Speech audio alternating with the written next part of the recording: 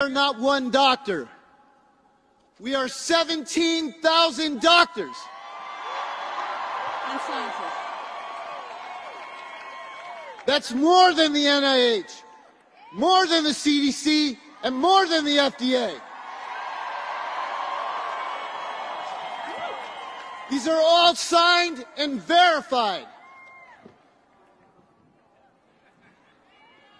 There are powerful forces against us, as you know.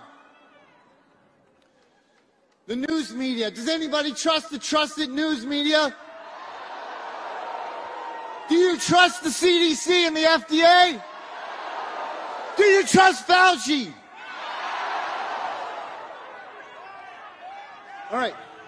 We've been fired, censored, erased from Wikipedia, but we're standing strong because we are with you.